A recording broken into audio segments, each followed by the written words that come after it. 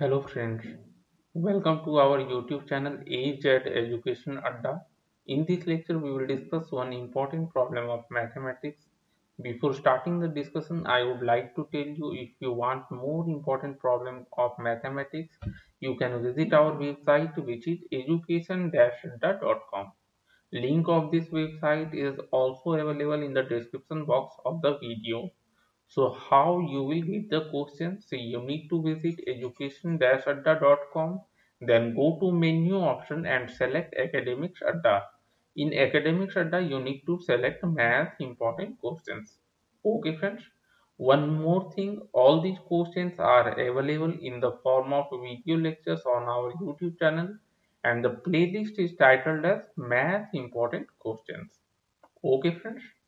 Coming back to the given problem, a function is given, a function px which is equal to 2 times x cube minus 7 times x square plus 4 times x plus 4. So we have to complete the following. So part A is we need to find all the real zeros of p. Okay, p is our function px and then factor it completely. Then in part B, we have to state the multiplicity of each zero and then sketch the graph of the function px. Okay, so one by one we will discuss.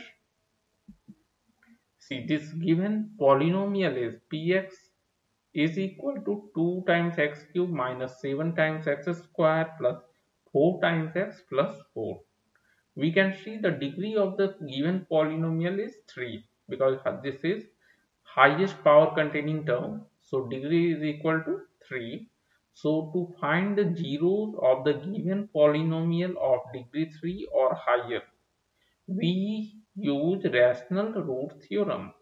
So what is rational root theorem?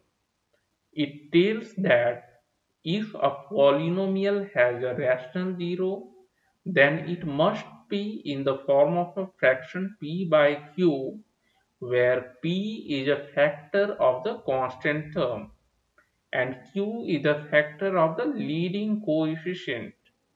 So if we see the given polynomial, our constant term is 4. This is our constant term, okay? And q is a factor of the leading coefficient. So which is our, this 2 is the leading coefficient okay now leading coefficient means coefficient of the term with the highest degree. So x cube is the term containing highest degree of x. Now factors of 2 what will be the factors of 2 that is leading coefficient. See it will be plus minus 1 and plus minus 2 we are considering positive as well as negative factors now factors of the constant term 4 will be plus minus 1, plus minus 2, plus minus 4. Okay. Now if we see plus minus 2 is repeated twice so we will strike it out.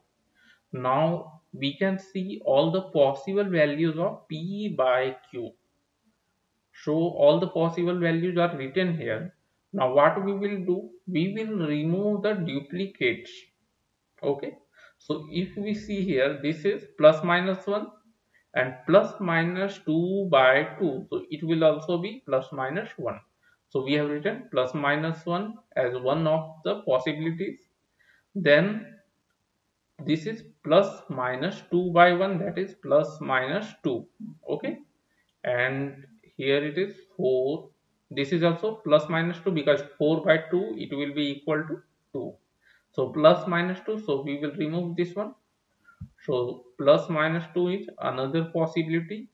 The next possibility is plus minus 4 by 1 that is plus minus 4 and what is remaining? That is a fraction 1 by 2 and this is this is our one only. We have ignored this this is 2 or we have already covered so next is 1 minus 1 by 2 plus minus 1 by 2 now we have 8 possibilities that is plus minus 1 plus minus 2 plus minus 4 and plus minus 1 by 2 Now what we will do, we will substitute one by one and we'll see which will give 0 remainder.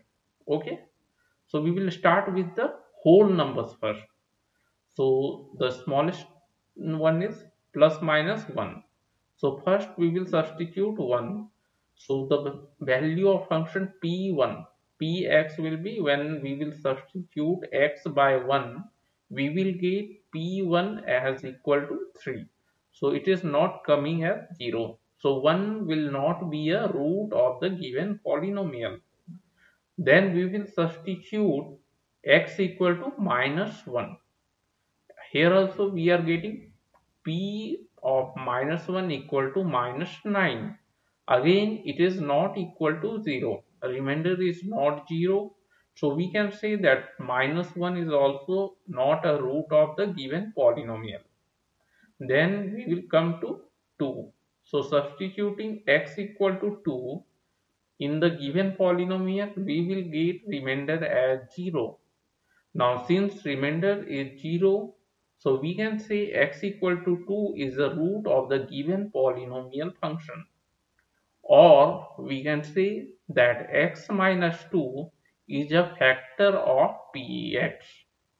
Now since we have got one root then we can divide by the factor we can divide the given polynomial by the factor x minus 2 and we will get quotient as 2x square minus 3x minus 2.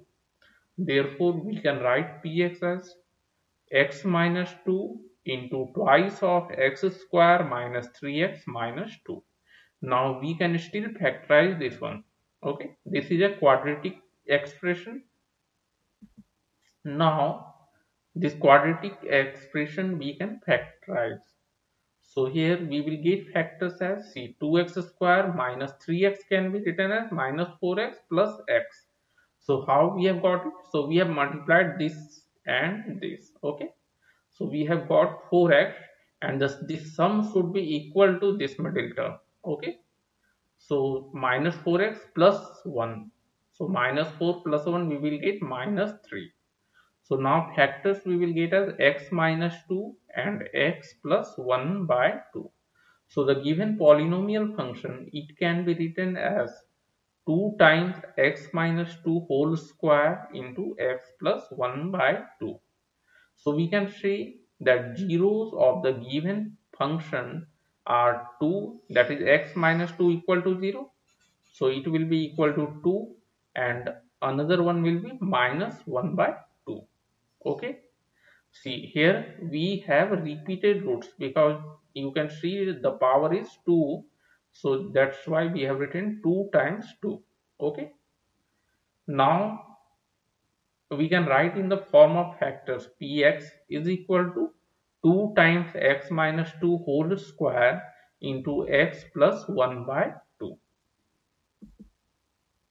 now we have to find the multiplicity of each zero so what is multiplicity? See multiplicity is the number of times that its corresponding factors appears.